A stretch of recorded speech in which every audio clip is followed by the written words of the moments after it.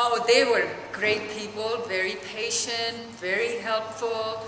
Um, you can call and ask any kind of dumb questions and they do not get impatient with you and they help me from beginning till the end. And, and um, Robin did say, have patience, you will find the right business, and she sure did. She found me the very good business which I'm very proud of.